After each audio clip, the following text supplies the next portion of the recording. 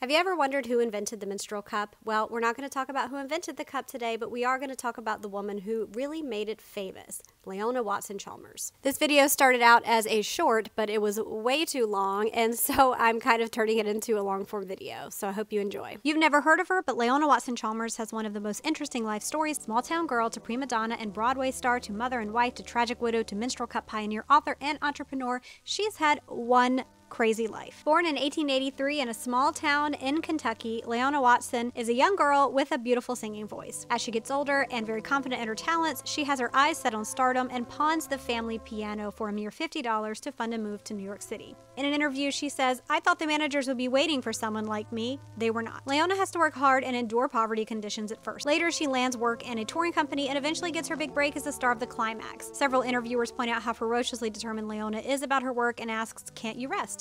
And she replies, It isn't my way. I can't stop here, which is kind of the theme for her life. She goes on to have several more roles in other plays, and for a brief moment, Leona Watson is a bona fide star and celebrity with features in magazines and newspapers around the country. In 1911, she marries a wealthy man, Charles Chalmers, the brother of the founder of Chalmers Motor Company, who also works for the automobile maker. She moves to Philadelphia with her husband and has just one daughter, also named Leona Watson Chalmers, in 1914. It's around this time she seemingly retires from the stage in lieu of being a wife and mother. In 1932, her husband Charles commits suicide after two unsuccessful attempts, the papers say he was brooding over losing his family fortune in the stock market. Leona is the one who finds him. Leona doesn't settle for a quiet life as a widow. She moves back to New York City alone at some point after her husband's death. By then, her daughter is a young adult. Then in 1935, at 52 years old, Leona files a patent for her rubber menstrual cup design. She names Tassette. This is the start of a new chapter for Leona. She didn't invent the product, but her efforts promoting the product are what ultimately put her name in history books. Her inspiration is noted to be her time as a touring actress with a grueling schedule. In Golden Girl, her character wore bright white costumes, a nightmare if your period shows through. 1937 is a big year. She publishes her first book, Intimate Side of a Woman's Life, and begins advertising and selling her Tassette cup. In the book, she tackles multiple topics around reproductive health. Leona is a big fan of two things douching and menstrual cups. Her book offers frank advice without euphemisms, and she feels strongly that women deserve frank information about their bodies. In 1943, she publishes her second book, Woman's Personal Hygiene. Tassette has to stop production due to wartime rubber shortages, which is perhaps one reason tampons won over users during the cup's absence.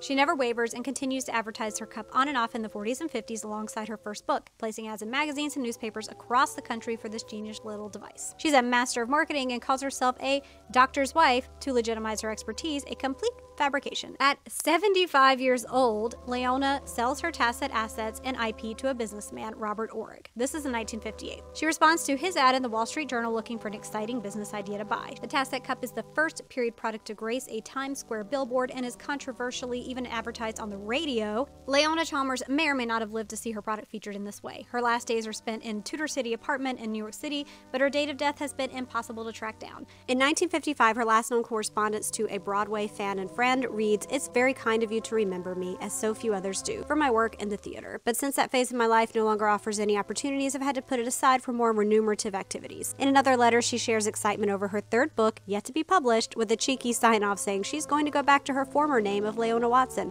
as the Chalmers name seems to have only brought her bad luck. Her brand lives on through Oreck's company, but the sales are low. He blames the low sales of Tassette on the reusability of the cup. Customers only need one cup for many years of use. He employs a nurse to help with a new design that is a one-time use and relaunches the menstrual cup as Tassaway. They even design a terrifying cup insertion device that's never produced. He sinks millions into making this product successful and hires the famous J. Walter Thompson ad agency in LA. Despite mass distribution in the US and Europe and widespread ad campaigns on billboards and in magazines, even a TV commercial I can't track down, Tassaway never succeeds and they dissolve owing millions to their ad agency and other creditors. Reportedly, 20,000 former Tassaway customers write letters to the company desperate for any remaining stock to last them because the company is shut down.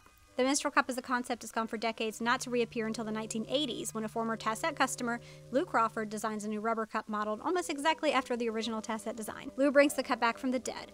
Keeper Cup launches and timing is perfect. The TSS scare of the 80s helped propel it to success. The cup becomes a cult favorite product to those in the know. Eventually, former sales distributors of Keeper are inspired to create their own cup companies. Moon Cup in the UK makes the first silicone menstrual cup in 2002, right after which Diva Cup, started by a mother and daughter team out of Canada, launches their website and business in 2003 and sort of creates the menstrual cup industry as we know it today. If you like this video, make sure you give it a like and a comment. Also, let me know how you feel about this more casual YouTube style. And if you have suggestions for anything else I should tackle like this, leave a comment and let me know.